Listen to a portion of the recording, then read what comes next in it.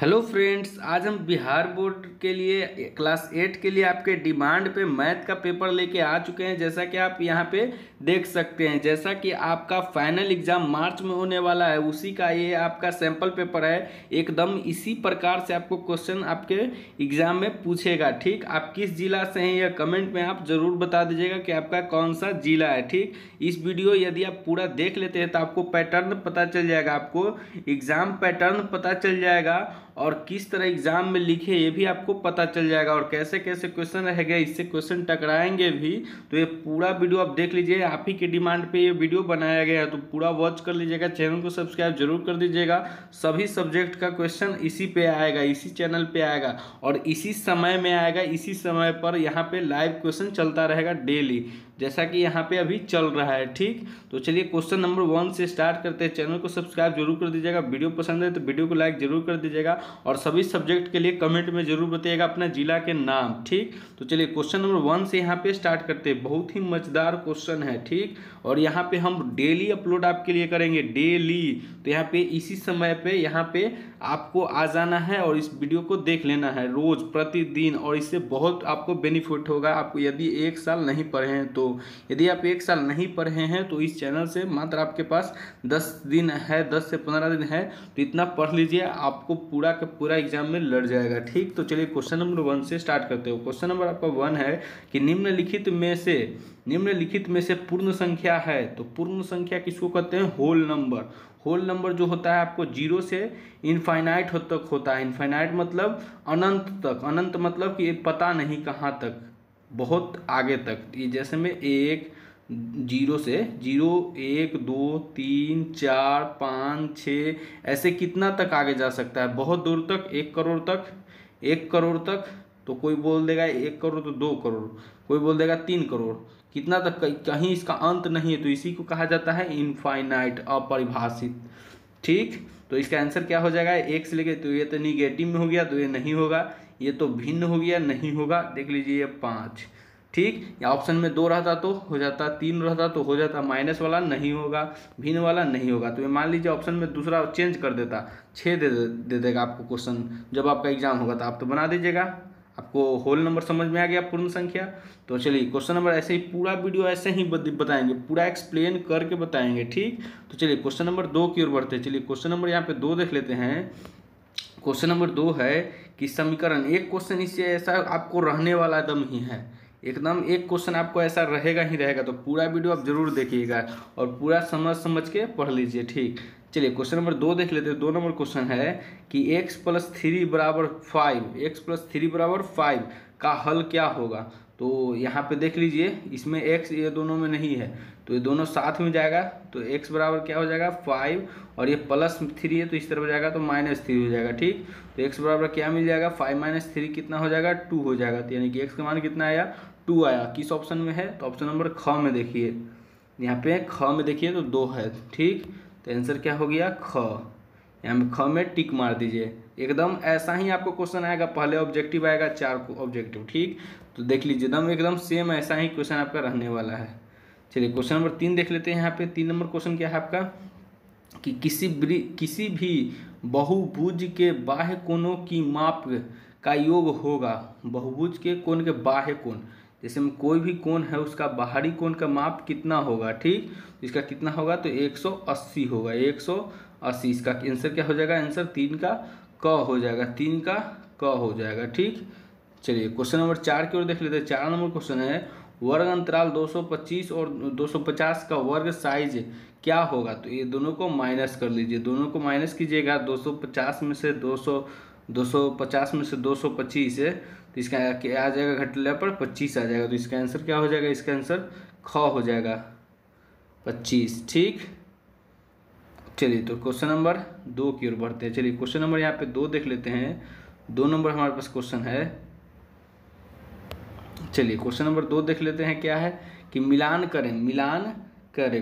स्तंभ क दे देगा स्तंभ, ख दे देगा। आप कहेगा कि मिलान कीजिए। चलिए, त्रिभुज जो होता है, उसके जो त्रिभुज होता है, उसके तीनों कोनों का योग कितना होता है? तो 180 होता है। तो आपको क्या करना है? सीधे मिलान कर देना है। ठीक? ऐसे, ठीक? चतुर्भुज का 360 तो दो का घ में मिलान कर दीजिए, दो का घ में। इस सबको इरेज कर देते हैं। चलिए, ठीक है। चलिए, अब पंचभुज का जो पंचभुज होता है, उसका कितना होता है? तो पंचभुज का पाँच सौ चालीस, ठीक? तो पाँच सौ चालीस में मिलान कर दीजिए, षटभुज का सात सौ बीस तो सात सौ बीस में मिलान कर दीजिए। बस ऐसे आपको कर दीजिएगा तो आपको फुल में फुल मार्क्स मिल जाएगा, ठीक? तो ऐसे आपको क्वेश्चन रहने वाला है, एकदम कोई भी क्वेश्चन आपको टकरा जाएगा तो आपको उसको बना देना है, ठीक? चलिए क्वेश्चन नंबर तीन की ओर बढ़ते तीन नंबर क्वेश्चन देख लेते तीन नंबर यहाँ पे क्वेश्चन हमारे पास है। चलिए, यहाँ पे कट जा रहा है। देख लेते हैं इसी में। चलिए क्वेश्चन नंबर यहाँ पे तीन देख लेते हैं। तीन नंबर क्वेश्चन हमारे पास क्या है कि कोष्ठक में कोष्ठक में सही विकल्प चुनकर खाली जगहों को भरिए। खाली जगह को भरना है, कैसे खाली जगह का आप भरिएगा, ठीक? तो चलिए भरते हैं यहाँ पे। क्या दिया हुआ है? माइनस सेवन, माइनस थ्री, ठीक? माइनस करना है। माइनस सेवन में से माइनस थ्री को माइनस कर देना है। तो यहाँ पे देखते हैं, माइनस सेवन क्या तो माइनस सेवन हो जाएगा और ये माइनस माइनस क्या हो जाएगा? प्लस हो जाएगा, थ्री हो जाएगा, ठीक? तो बड़ा में से छोटा घटाइएगा तो कितना आएगा? चार। और बड़ा कौन है? सात। सात के आगे कितना, क्या है? माइनस। तो माइनस चार। इसका आंसर हो जाएगा माइनस चार। यहाँ पे देख लीजिए, यहाँ पे माइनस चार है तो इसी में टिक मार दीजिए और यहाँ पे लिख भी दीजिए कि माइनस चार। ठीक? चलिए क्वेश्चन नंबर दो की ओर बढ़ते दो नंबर क्वेश्चन क्या है? इतना दिया हुआ है, इसके बराबर कौन होगा? Two X plus two four X minus four है। यहाँ पे फोर है। ठीक?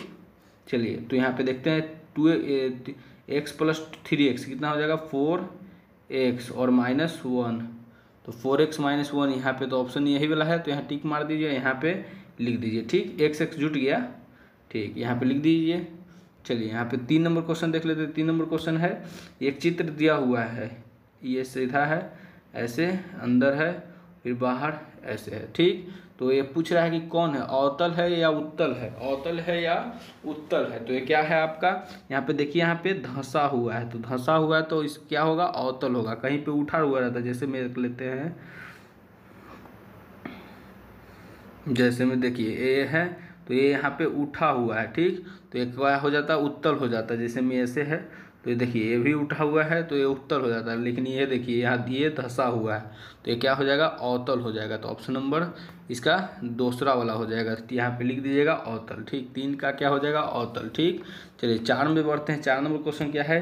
कि दंड आलेख के प्रत्येक दंड की चौड़ाई क्या होती है? तो समान होती है। प्रत्येक दंड की लंबाई जो होती है, समान होती है चौड़ाई। ठीक? चलिए क्वेश्चन नंबर चार की ओर बढ़ जाते हैं। चलिए क्वेश्चन नंबर चार देख लेते हैं यहाँ पे। क्वेश्चन नंबर चार है हमारे पास कि बॉक्स में सब भरिए। ठीक? एक बटा सिक्स कितना होता है? छः से भाग कीजिएगा एक में तो कितना आएगा? तो नहीं लगेगा तो पॉइंट दीजिएगा। ठीक? तो यहाँ ज़ीरो आएगा। एक मरते में छः चार बचेगा तो ज़ीरो लगाइएगा। छः से पढ़िए छः का पहाड़ा कितना बार में पड़ेगा छः छः के छत्तीस तो यहाँ छत्तीस। फिर बच जाएगा चार। तो ऐसा ही चलता रहेगा। तो दो अंक तक करके छोड़ दीजिएगा। तो कितना आया? Point one six. यहाँ पर लिख दीजिएगा पॉइंट वन सिक्स। ठीक? ऐसे लिख दीजिएगा। आपको फुल मार्क्स मिल जाएगा। ऐसा क्वेश्चन आपको रहने वाला है एकदम ठीक? तो ऐसा पूरा पढ़ लीजिएगा वीडियो पूरा वॉच करके जाइएगा। चलिए क्वेश्चन नंबर चार, दो की ओर बढ़ते दो नंबर क्वेश्चन क्या है? कि दो लगातार विषम संख्याओं में, पहली संख्या एक्स प्लस टू है तो दूसरी संख्या क्या होगी? विषम संख्या क्या होता है? एक, तीन, पाँच, सात, नौ, ग्यारह, तेरह, पंद्रह, सत्रह, ऐसा ही होता है। ठीक तो पहला हो गया पाँच तो दूसरा कितना हो गया? सात। पहला हो गया नौ तो दूसरा हो जाएगा ग्यारह। जिसे में लगातार होगा, यानी दो दो बढ़ रहा है, ठीक? एक होगा तो तीन हो जाएगा, दो बढ़ गया, तीन है तो पाँच हो गया, एक, दो दो बढ़ रहा है, यानी कि यहाँ पे एक्स प्लस टू होगा तो दो इसमें भी बढ़ जाएगा तो यानी कि एक्स प्लस दो दो चार हो जाएगा तो एक्स प्लस चार तो यहाँ पे लिख दीजिएगा एक्स प्लस चार, समझ में आया होगा? ठीक? चलिए क्वेश्चन नंबर तीन की ओर बढ़ते हैं। तीन नंबर क्वेश्चन हमारे पास क्या है? कि बहुभुज इतना में वर्ग कितना होगा? वर्ग कितना होगा इसमें? बहुभुज में वर्ग कितना है? ठीक तो यहाँ पे देखते हैं। एक, दो, तीन, चार, पाँच, छः। तो यहाँ सट भुज हो जाएगा। क्या हो जाएगा? सट भुज हो जाएगा। सट भुज हो जाएगा। ठीक, चलिए क्वेश्चन नंबर चार के ऊपर चार नंबर क्वेश्चन है। एक पासे को फेंकने पर छः आने की प्रायिकता। हम यहाँ पे देख लीजिए। चैनल का प्लेलिस्ट एक बार ज़रूर चेक कर लीजिएगा, ठीक? वो सब वीडियो आप देख के जाइएगा, ठीक? चलिए, यहाँ पे एक डाइस हम बना लिए तो यही डाइस है। हम क्या बोले थे? उस वीडियो में हम बोले थे तो चैनल का प्लेलिस्ट जाके ज़रूर देख लीजिएगा, सभी सब्जेक्ट का वीडियो डाला हुआ है, ठीक? तो चलिए, यहाँ पे देखते हैं। यहाँ पे क्या देखते हैं कि संभव परिणाम कितना है, कि कितना आने की प्रायिकता है? छः। छः तो एक ही ना है, छः एक पासा में कितना आता है? एक, दो, तीन, चार पाँच, छः। तो ये छः आने की प्रायिकता ये कितना अंक है? एक अंक है तो एक। और एक कुल कितना है? तो छः। तो एक बटा छः। तो यहाँ पे आंसर हो जाएगा एक बटा छः हो जाएगा। ठीक? कोई एक, जितना दो संख्या रहता है तो ऊपर दो हो जाता है। कुल कितना है? छः। तो छः, दो बटा छः। तीन रहता तो तीन बटा छः। चार रहता तो चार बटा छः। जितना बोलेगा उतना ही। ठीक? चलिए क्वेश्चन नंबर पाँच की ओर बढ़ते हैं। क्वेश्चन नंबर पाँच की ओर बढ़ते हैं। पाँच नंबर क्वेश्चन क्या है? चलिए, यहाँ पे तो सब्जेक्टिव आगे आ गया है। चलिए पाँच नंबर क्वेश्चन बोला, एक क्वेश्चन ऐसा आपको रहने वाला है एकदम ठीक। बोला क्या एक सौ छप्पन पॉइंट टू फाइव का वर्गमूल ज्ञात कीजिए। वर्गमूल आपको ज्ञात करना है तो कैसे वर्गमूल ज्ञात कीजिएगा? एक सौ छप्पन लिख लीजिए, एक सौ छप्पन। सबको पहले हटा लेते हैं, चलिए। एक सौ छप्पन पॉइंट टू फाइव, चलिए बड़ा और छोटा दे दीजिए, ठीक। चलिए, इसको पीछे से जोड़ा लगा लीजिए, और इसमें आगे से लगता है। ठीक तो दो ही जोड़ा, एक एक ही जोड़ा लगा। चलिए, एक कितना से लगेगा? तो एक बार में एक एक एकम एक। एक एक कितना हो गया? दो हो गया। इसको जोड़ना है, ठीक। एक बार में लगा तो एक एक गया। पाँच और छः जोड़ा उतरा, ठीक। अब कितना बार में लगेगा? दो बार में। दो दूनी चार, दो दून, यहाँ जुटता है। दो दो, चार, यहाँ दो, ठीक। और यहाँ पे नहीं उतारे थे। एक यहाँ उतार दीजिए और एक दो लगाए थे दो आसरा बार में तो दो उतार दीजिए, ठीक। चलिए तो गिना गुना के लेवल कितना आएगा? दो दूनी चार और दो दूनी चार। चौवालीस आ गया। चलिए घटाइए इसमें तो कितना आएगा? छः में से चार गया तो दो और पाँच में से चार गया तो एक और यहाँ पे दो पाँच। चलिए इसको चौबीस को साइड में लाइएगा। चौबीस को और कितना बार में लगेगा? तो बारह बारह सौ पच्चीस आएगा। तो यहाँ पाँच बार में लगेगा तो बारह सौ पच्चीस आ जाएगा। पाँच मतलब मल्टीप्लाई कीजिएगा तो बारह सौ पच्चीस आ जाएगा। तो पाँच ऊपर लिखिए और पाँच नीचे लिखिए। इसको जोड़ दीजिएगा तो ढाई सौ आएगा, ठीक? और यहाँ पे पाँच लिख दीजिए पॉइंट दे दीजिएगा। पॉइंट के बाद अब काम कर रहे हैं, ठीक? यहाँ पे पाँच दे दीजिएगा, ठीक? और यहाँ पे बारह सौ पच्चीस। और यहाँ पे कट गया, ठीक? तो इसका आंसर क्या हो गया? बारह पॉइंट पाँच इसका आंसर हो जाएगा, बारह दशमलव पाँच। यहाँ पे आपको इतने बना दीजिएगा और यहाँ पे लिख दीजिएगा इतना आंसर तो यहाँ पे आपको फुल में एकदम फुल मार्क्स मिल जाएगा, ठीक? चलिए तो क्वेश्चन नंबर सात की ओर बढ़ते हैं। क्वेश्चन नंबर सात आपका क्या है? कि एक एक जो है चतुर्भुज है ए बी सी डी है, ठीक? तो ए बी सी डी की रचना करना है, चतुर्भुज ए बी सी डी की रचना करना है, ठीक? जिसमें ए बी चलिए यहाँ पे देख लेते हैं। चलिए, जिसमें दिया हुआ है ए बी बराबर चार और बी सी बराबर छः दिया है बी सी बराबर छः दिया है। यहाँ पे देख सकते हैं सी डी बराबर टू पॉइंट सिक्स और A D two point three दिया है। और ए सी फोर सेंटीमीटर दिया है। यहाँ पे कोण की चर्चा नहीं किया, यहाँ पे कोण भी आपको दे सकता है, ठीक? तो चलिए, सबसे पहले कोई कोई भी एक बना लेते हैं। सबसे पहले यहाँ पे देख लेते हैं, कोई भी आप बना सकते हैं ए बी सी डी कोई भी बना सकते हैं। यहाँ पे कोई भी ले सकते हैं। डी सी ए ले लीजिए। डी सी है सी डी ले लीजिए। कुछ भी आप ले सकते हैं। तो कितना दिया है? टू पॉइंट सिक्स तो एक एक एक यहाँ पे पॉइंट ले लीजिए या यहाँ पे स्केल से। इसको मिला दीजिए टू पॉइंट सिक्स देख के। टू पॉइंट सिक्स ठीक? चलिए, यहाँ से अब बोला है, इसका नाम क्या बोला है? सी, और इसका नाम डी बोला है, ठीक? तो क्या बोला है? A D. ए और डी हो, की लंबाई होना चाहिए टू पॉइंट थ्री देख सकते हैं यहाँ पे, ए और डी की लंबाई कितना होना चाहिए? ए डी, कि टू पॉइंट थ्री यहाँ पे यानी कि यहाँ ए होगा, यहाँ टू पॉइंट थ्री होगा। टू पॉइंट थ्री अंजादे पर ले सकते हैं, लेकिन स्केल से मिलाइएगा, ठीक? कौन उन नहीं दिया है? कौन नहीं दिया तो कौन का चर्चा हम सब नहीं करेंगे। और यहाँ पे ले लीजिएगा सी डी से कितना बोला है? ए सी ए डी हो तो हो गया बी सी कितना बोला है यहाँ पे देख सकते हैं बी सी यहाँ पे बी सी छः बोला है तो यहाँ पे छः ले लीजिएगा। छः ले लीजिएगा ए सी ए सी बी ठीक? और यहाँ पे ए बी बोल दिया है कितना? चार, ठीक? तो यहाँ पे इसको मिला दीजिएगा तो ये चार आ जाएगा, ठीक? यहाँ पे कौन की चर्चा नहीं किया था, ठीक? तो यहाँ कौन नहीं बना। ठीक? कौन की चर्चा करता है तो कौन भी बनाते, ठीक? तो अगला वीडियो में हम कौन का भी क्वेश्चन लेके आएँगे, ठीक? तो चैनल को सब्सक्राइब ज़रूर कर दीजिएगा। सभी वीडियो आप देख के जाइएगा, ठीक? फाइनल आपका एग्ज़ाम है, ठीक? चलिए आठ नंबर क्वेश्चन के बढ़ते हैं। आठ नंबर क्वेश्चन हमारे पास है कि एक आयत की लंबाई चार सेंटीमीटर तथा चौड़ाई तीन सेंटीमीटर है तो उसके दोनों विकर्णों की लंबाई ज्ञात कीजिए। दोनों विकर्णों की लंबाई ज्ञात करना है, ठीक? मतलब क्या बोल रहा है? एक आयत की लंबाई दिया हुआ है। यहाँ पे देख सकते हैं, पहले काट लेते हैं साफ़ साफ़ बनाते हैं। एक आयत की लंबाई दिया हुआ है, ठीक? एक आयत की लंबाई कितना दिया हुआ है? चार सेंटीमीटर दिया हुआ है और चौड़ाई कितना दिया है? तीन सेंटीमीटर दिया है। तो पूछा है इसका विकर्ण, दोनों विकर्ण बताइए। एक, दोनों विकर्ण कितने लंबाई बराबर होता है? ठीक? यहाँ पे देखते हैं क्या कि यहाँ पे नब्बे डिग्री है, ठीक? यहाँ पे नब्बे डिग्री है। तो ये आपका पाइथागोरस पर में बन गया। पाइथागोरस त्रिक जो आप पढ़े हैं, क्या पढ़े हैं?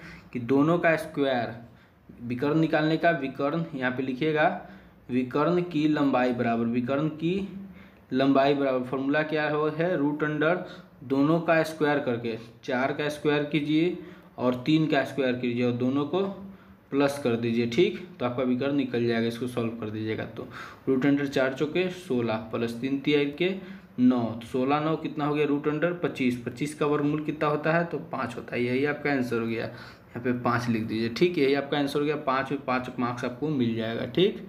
चलिए क्वेश्चन नंबर आगे बढ़ते हैं। क्वेश्चन नंबर यहाँ पे देखते हैं कितना? आठ हो गया था। चलिए क्वेश्चन नंबर नौ की ओर बढ़ते हैं। नौ नंबर क्वेश्चन है कि इसको हल करना है। क्या करना है इसको? हल करना है। ठीक? तो चलिए क्वेश्चन को उतारते हैं।